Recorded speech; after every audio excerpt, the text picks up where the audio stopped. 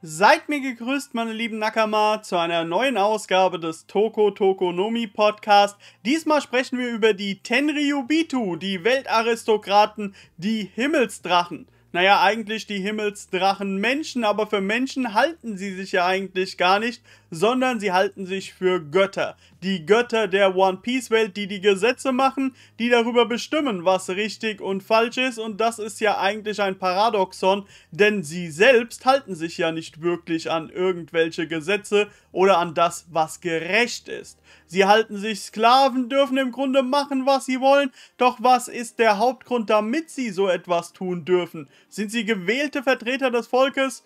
Wohl kaum.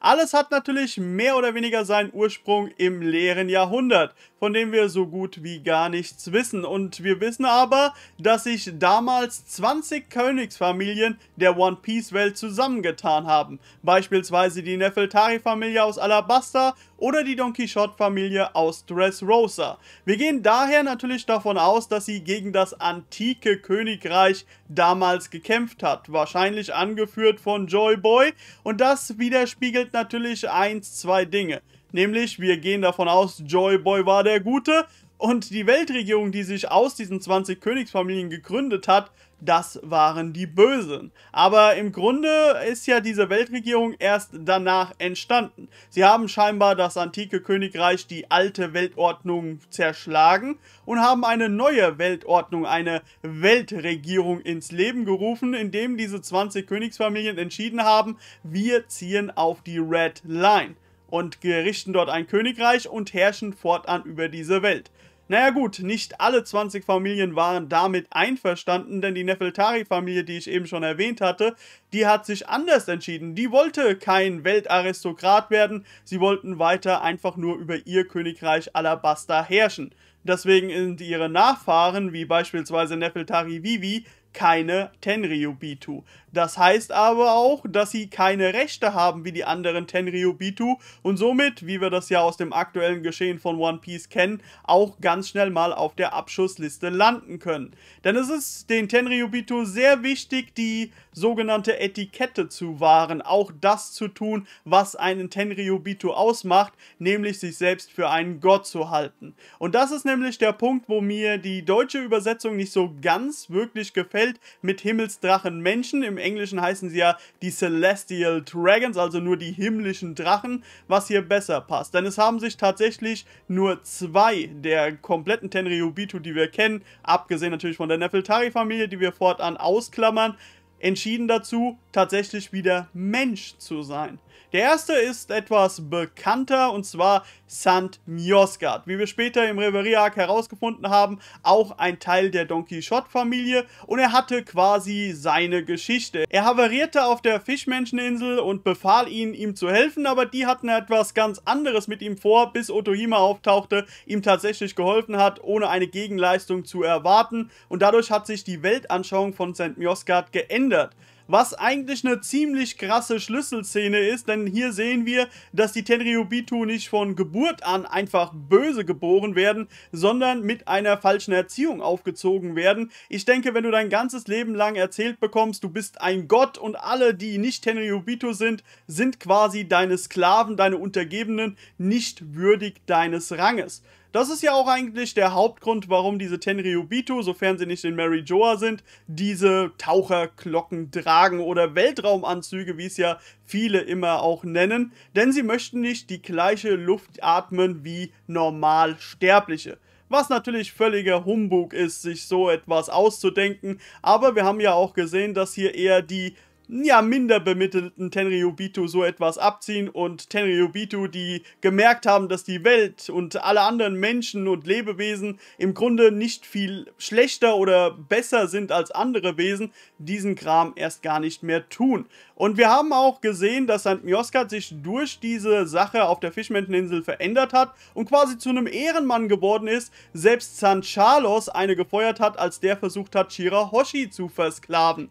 Und das ist auch für mich hier so eine Schlüsselszene für die Tenryubitu, weil es nämlich zeigt, dass nicht jeder Tenryubitu gleich ist. Also natürlich für das gemeine Volk sind sie alle gleich, aber untereinander gibt es scheinbar noch ein Rangsystem. Da gibt es ja beispielsweise das Familienoberhaupt, aber den höchsten Rang, den wahrscheinlich ein Tenryubito begleiten kann, ist die eines Gorosei. Und mittlerweile ist ja auch bestätigt, dass sich es bei den Gorosei ebenfalls um Tenryubito handelt. Erst haben wir ja die Aussage bekommen, dass die Cypher Polar Aegis Zero nur auf dem Befehl der Tenryubito handelt und sie bekommen bekommen ihre Befehle von den Gorosei. Einer dieser Gorosei wurde jetzt auch namentlich vorgestellt, nämlich Sant J. Garcia Saturn. Und damit haben wir auch die dritte bekannte Familie der Tenryubito, nämlich die J. Garcia Familie.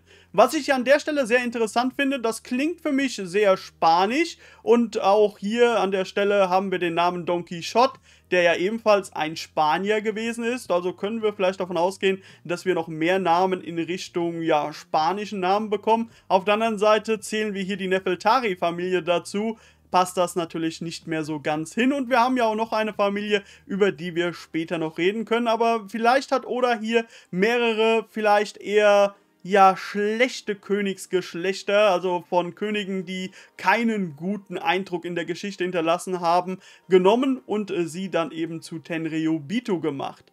Gehen wir einfach mal weiter aber über den Namen Saturn. Wir haben fünf Gorosei, sie werden die fünf ältesten Sterne genannt, aber mittlerweile nennen wir sie ja alle die fünf ältesten Planeten. Allerdings muss ich an der Stelle wieder einmal erwähnen, in der Antike und höchstwahrscheinlich auch in der Welt von One Piece dachte man ja, dass die Erde der Mittelpunkt des Universums wäre. Und wir haben ja den Globus gesehen, dieses Planetensystem auf O'Hara. Es könnte also auch weiterhin sein, dass zumindest die Welt von One Piece denkt, dass äh, ihre Welt äh, den Mittelpunkt des Universums darstellt. Und somit könnte auch hier wieder die Aussage, die ältesten Sterne, die Planeten sind in dem Fall dann die Sterne auch eintreffen. Wir wissen natürlich mittlerweile, dass nur Sonnensterne sind, aber wir möchten jetzt nicht weiter in die Astrophysik hineinrutschen. Mir ging es jetzt nur darum, wir können vielleicht von dem Namen Saturn die anderen Namen der Gorosei ableiten und wir gehen wahrscheinlich alle davon aus, dass sie Venus, Merkur, Mars und Jupiter sein werden. Wie ihre Familiennamen sind, das wissen wir nicht. Wir wissen aber, dass sie die höchsten Ränge innerhalb der Tenryubitu begleiten. Und auch an der Stelle müssen wir die Frage stellen, warum ist das so? Sind das die fünf höchsten Familien innerhalb der Tenryubitu, weil das die stärksten Familien früher schon gewesen sind, als sich diese 20 Königsfamilien vereinigt haben, um halt eben gegen das antike Königreich vorzugehen? Oder haben die sich einfach herauskristallisiert in all den 800 Jahren nach dem leeren Jahrhundert? Oder wurden die innerhalb der Tenryubitu gewählt? Also ich denke, hier gibt es viele Möglichkeiten und ich bin mir auch ziemlich sicher, dass die einzigen, die von der Existenz von Imu, Imsama wissen, ebenfalls die Tenryubitu sind. Wobei wir natürlich niemals die Aussage von Don Quixote do Flamingo vergessen dürfen, dass er ja weiß, was der Schatz von Mary Joa ist. Und diese Nummer hat er ja im Grunde dann getroppt, als eben damals Imsama das erste Mal in Erscheinung getreten ist könnte also sein, dass eben Imsama das große Geheimnis, der große Schatz auf Mary Joa ist. Und an der Stelle müssen wir uns auch die Frage stellen, wer ist Imusama überhaupt? Ist er auch einer dieser 20 Königsfamilien? Wurde er auch in einem strengen Auswahlverfahren gewählt als das Oberhaupt dieser 20 Königsfamilien? Wobei ja die Weltregierung für eine gewisse Neutralität steht. Keiner soll auf dem leeren Thron sitzen, keiner steht über irgendeine der Königsfamilien und schon gar nicht nicht dieser 20 Königsfamilien oder sagen wir besser gesagt 19 Königsfamilien, die zu Tenryubitu wurden. Inzwischen sind wir auch wieder ein bisschen schlauer. Natürlich sitzt da jemand drauf und zwar Imusama. Aber hat er sich mehr oder weniger in dieses System hineingezeckt und hält sie mehr oder weniger als Geisel, damit er die Geschicke der Welt lenken und steuern kann? Oder ist er ebenfalls einer dieser Familien? Auch das wirft viele Fragen auf, doch kommen wir erst einmal weiter zum Thema Tenryubitu. Denn während meiner Recherche rund um das Thema Tenryubitu, Himmelsdrachenmenschen, die einzelnen Charakteren und die Familien, ist mir ein sehr interessanter Satz aufgefallen und der könnte tatsächlich unser Blick auf die One Piece Welt verändern und vielleicht sogar die Frage beantworten, ob die Redline etwas Natürliches ist oder etwas künstlich Erschaffenes oder vielleicht etwas, was überhaupt vorher gar nicht existiert hat. Reden wir kurz einmal über die Redline. Wir haben eine Information bekommen, die das Ganze natürlich etwas natürlicher gestaltet, und zwar die Existenz der Lunarier. Es wurde nämlich gesagt, dass die auf der Redline gelebt haben, aber das halt wirklich unter ganz schlechten Umständen, aber sie das einzige Volk waren, die das irgendwie gemanagt haben. Das ist doch eigentlich mal so eine Sache, wo man sich fragt, warum gehen dann die Tenryubitu nach Mary Joa, was ja ebenfalls auf der Red Line ist, wenn es da nichts zu holen gibt oder wenn das jetzt nicht unbedingt das Paradies ist, dort zu leben.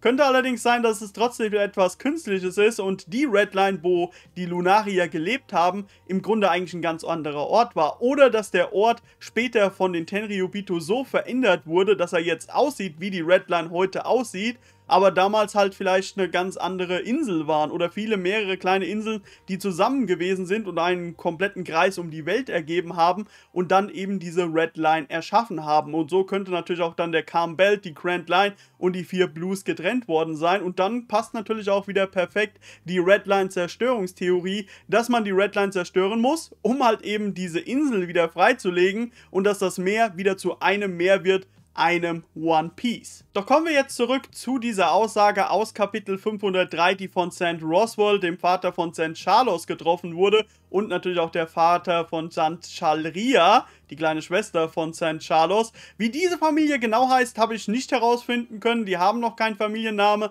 deswegen nennen wir sie meistens die St. Roswell Familie. Ich gehe aber stark davon aus, dass sie jetzt nicht auch unbedingt zu den Don Quixote gehören. Aber gehen wir nochmal drauf ein. Was hat er für eine Aussage getroffen? Er hat nämlich gerechtfertigt, warum die Tenryu Bitu die Herrscher dieser Welt sind.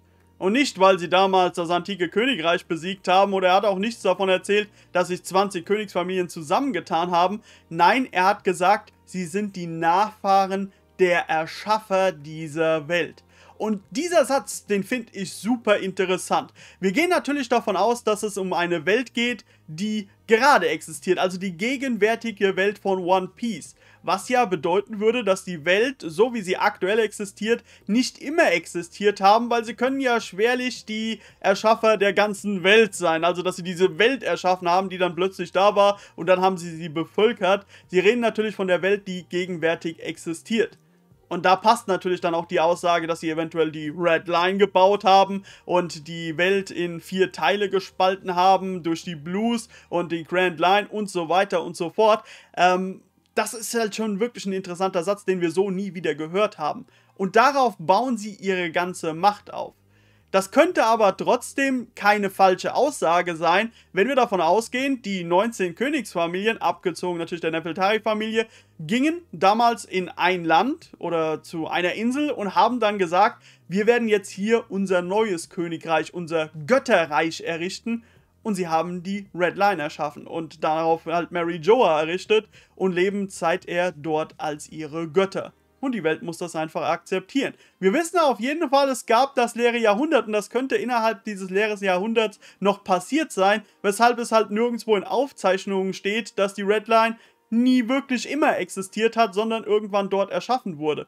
Und die Lunarier waren zu diesem Zeitpunkt vielleicht einfach die Leidtragenden, haben eigentlich im Grunde vorher sehr gut gelebt und mussten dann auf einmal auf der Red Line leben. Und da die Leute nicht wissen, dass die Red Line nicht immer existiert hat, glauben sie natürlich, die Lunarier haben immer auf der Red Line gelebt und haben dadurch auch als einziges Volk dort überleben können.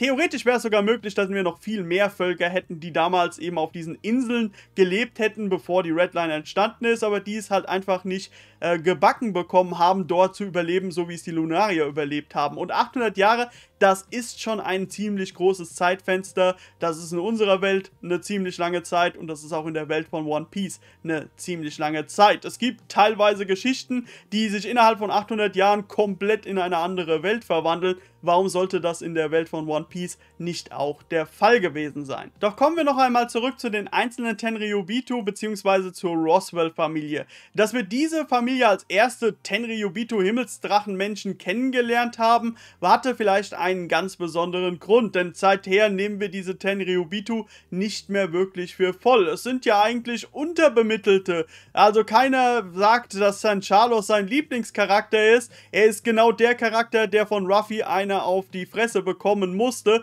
weil er ebenfalls so hassenswert gewesen ist. Er repräsentierte im Grunde alles, was schlecht läuft in der Weltregierung und wir haben gleichzeitig gesehen, dass die Leute und Menschen Angst davor hatten, ihm irgendwie zu widersprechen und sie tun und lassen durften, was sie konnten.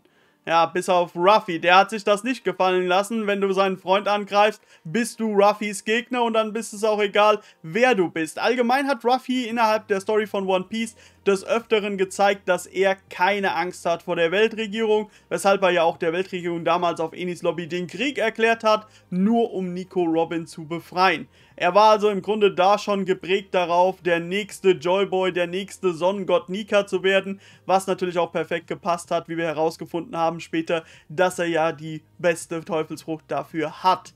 Und natürlich müssen wir jetzt hier einsehen, dass es mittlerweile nicht nur diese unterbemittelten Tenryubitu gibt, die im Grunde machen, was sie wollen, sondern wir haben auch gute gesehen, wie beispielsweise auch St. Miosgard.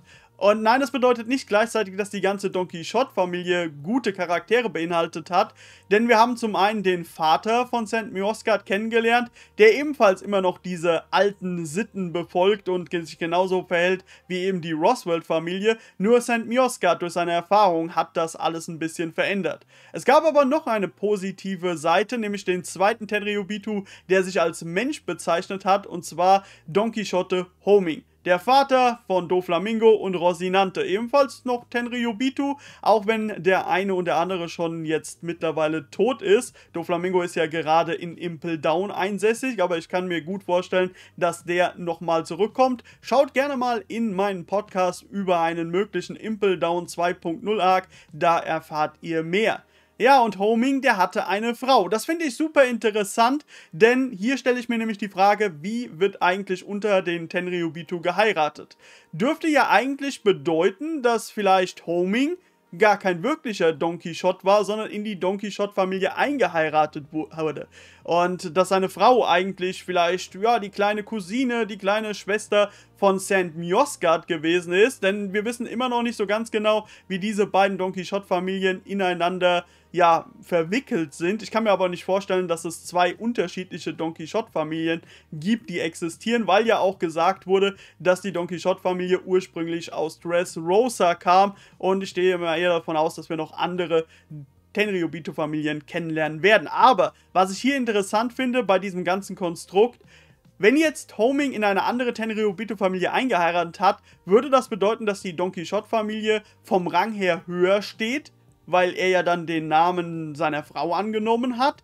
Oder ist eben die Mutter von Doflamingo und Rocinante dann in die Don Quixote-Familie eingeheiratet worden? Und dann stellt sich natürlich die Frage, aus welcher Tenryubito-Familie stammt sie denn übrigens? Könnte sie auch aus der St. Roswell-Familie kommen? Oder vielleicht von der Figureland-Familie oder sogar von der Jay Garcia-Familie. Also ich finde das ganze Thema Tenryubitu furchtbar interessant und ich würde gerne mehr über die anderen Familien und vor allem deren Namen erfahren. Kommen wir aber noch zu einer anderen Tenryubitu-Familie, wo wir uns auch noch nicht so ganz sicher sind, ob es hier eine Connection zu den existierenden Familien gibt, und zwar den Charakter St. Jelmark. Ihr fragt euch, wer ist St. Jelmark? Wo ist er überhaupt aufgetaucht? Existiert er heute noch überhaupt?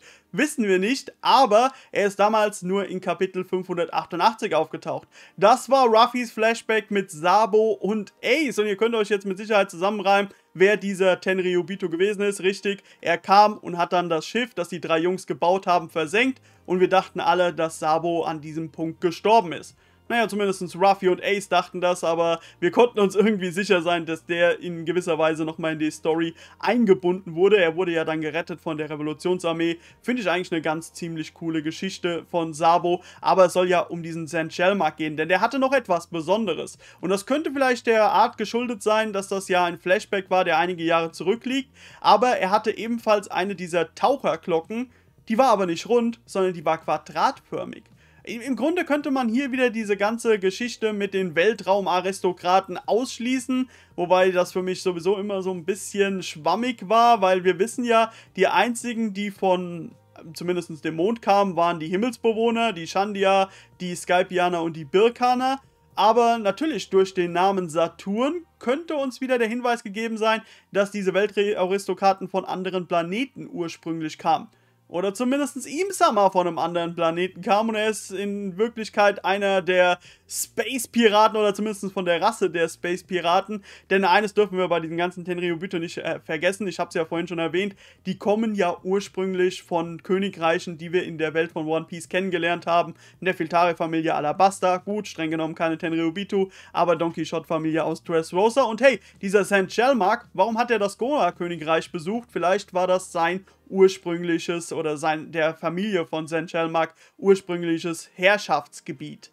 Ja, und dann kommen wir wieder nochmal zurück zu St. Homing. Ich habe ja schon gesagt, er war einer der wenigen, der gesagt hat, ich bin ein Mensch, ich bin kein Gott, ich möchte wieder als normaler Mensch leben. Haben natürlich den anderen Tenryubito solche Aussagen gar nicht gefallen, weshalb er gesagt hat, ich ziehe in das ursprüngliche Königreich zurück, Dressrosa, und lebe ein normales Leben. Hier an der Stelle stelle ich mir folgende Frage. Und zwar, gab es da ein singuläres Ereignis, das diese Entscheidung ausgelöst hat? In Bezug gehe ich hier wieder auf St. Miosgard ein. Er hatte ja sein Erlebnis auf der Fischmenscheninsel und war dann der zweite Tenryubito, der gesagt hat, ich bin ein normaler Mensch. Ähm, aber er ist natürlich auch jemand, der nicht äh, Mary Joa verlassen hat. Und das ist wahrscheinlich so ein Kardinalsdelikt, das man nicht äh, begehen darf, denn es gibt keine Rückkehr. Denn St. Homing hat festgestellt, Dressrosa, die Leute mögen uns nicht. Und als sie festgestellt haben, dass sie nichts zu befürchten haben, haben sie sie vertrieben. Es lief sogar so weit hinaus, dass die Don Quixote-Familie rund um Homing dann auf der Müllhalde weiterleben konnte. Sie konnten sich die Medizin nicht für die Frau leisten, die dadurch dann halt gestorben ist. Ja, und äh, Doflamingo, dem hat das absolut gar nicht geschmeckt. Er hat auch nicht verstanden, warum die Leute nicht auf die Knie gefallen sind, wenn er durch die Stadt gelaufen ist. Äh, und am Ende ist es darauf hinausgelaufen, dass er seinen eigenen Vater getötet hat. Ja, und wenig später noch seinen eigenen Bruder. Doflamingo ist in der Hinsicht zumindest ein ganz äh, abgespaceter Schurke, aber das macht ihn vielleicht auch zu so einem guten Schurken. Ja, und damit kommen wir eigentlich schon zur letzten Familie, die wir hier noch aufzählen müssen. Und das ist eigentlich nur eine Fußnote aus dem Film One Piece Film Red.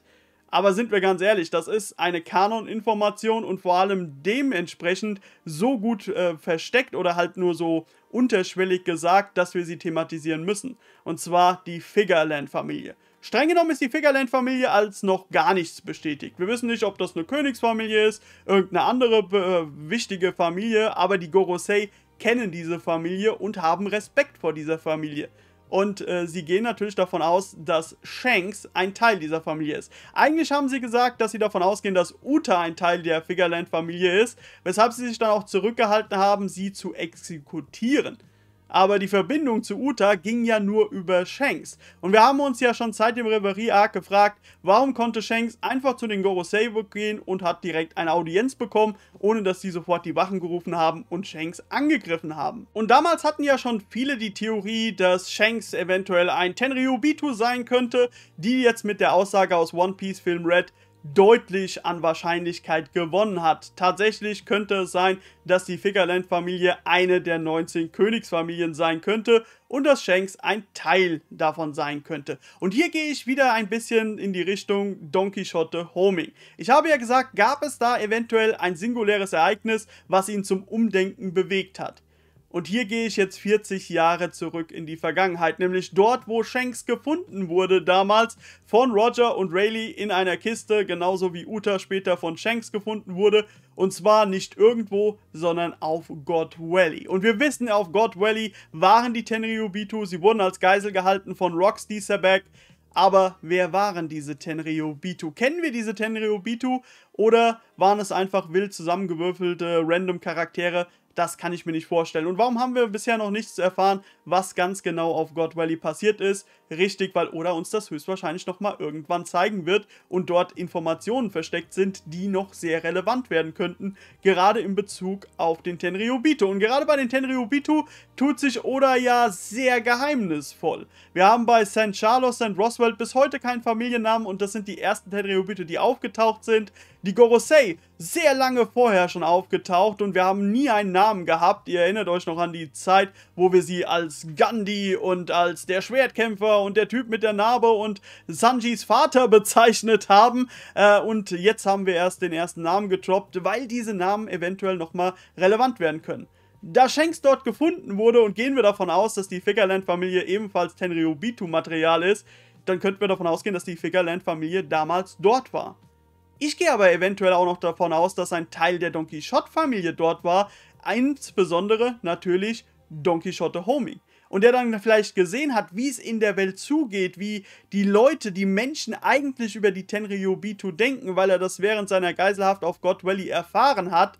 Und wir können vielleicht sogar davon ausgehen, dass God Valley die eigentliche Königreich von der Figureland-Familie war. Auch das kann man jetzt suggerieren ähm, und dadurch halt dann die Entscheidung getroffen hat, hey, da wurden ein paar von der Figureland-Familie getötet. Die könnten ja, die Eltern von, von Shanks könnten ja von Roxy Sebek getötet worden sein und deswegen hat man ihn nochmal versucht zu retten, ihn in eine Kiste gepackt, wie damals Moses in der Bibel in den Weidenkorb und dann den Fluss herunter das ist etwas, wo man hier wirklich Parallelen aus der echten Welt hinzuziehen kann. Und Homing hat es halt irgendwie überlebt oder hat von diesen Ereignissen erfahren und sich dann entschieden, ich möchte kein Tenryubito mehr sein, ich möchte ein ganz normaler Mensch sein. Also ich finde, die Stränge laufen hier viel zu gut zueinander, dass ich mir nicht vorstellen kann, dass das alles Zufall ist. Insgesamt finde ich das Thema Tenryubito sehr interessant und ich freue mich schon darauf, wenn wir die Namen der anderen Königsfamilien noch erfahren und aus welchen Ländern oder welchen Inseln die ursprünglich kamen, denn hier kann man natürlich auch wieder die Parallelen zu Porneklyphen, dem antiken Königreich finden und natürlich möchte ich herausfinden, hat die Redline schon ewig existiert oder ist das etwas, was die Weltaristokraten damals mit ihrem Umzug nach Mary Joa überhaupt erst errichten haben. Ich möchte euch nochmal an die Aussage von Kapitel 503 erinnern, wir sind die Nachfahren der Erschaffer dieser Welt. Oh mein Gott, das ist eine Gänsehaut-Aussage. Ich weiß nicht, ob da mehr drin steckt, als ich da vermute, aber ich hoffe es natürlich und ich hoffe, es geht euch ganz genauso. Schreibt mir mal eure Meinung zu den Tenryubito in die Kommentare und wenn es euch gefallen hat, lasst mir gerne einen Daumen nach oben da und abonniert meinen Kanal für mehr One Piece Podcast und natürlich viel mehr One Piece Content. In diesem Sinne bedanke ich mich bei euch für euer Einschalten und Zuhören. Bleibt gesund, bleibt am Leben, bleibt One Piece gewogen, bleibt mir gewogen. Ade!